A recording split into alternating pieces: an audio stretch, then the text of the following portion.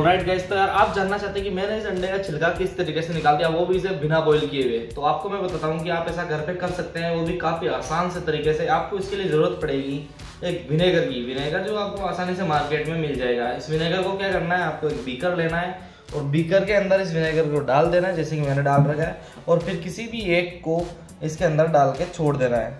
छोड़ने के ठीक 48 घंटे बाद, जैसे ही आप एक को बाहर निकालेंगे और इसे धो लेंगे, उसके बाद इसके जो छिलका है, वो निकल जाएगा और आप बिना बोल किए हुए किसी भी अंडे का छिलका निकाल सकते हैं।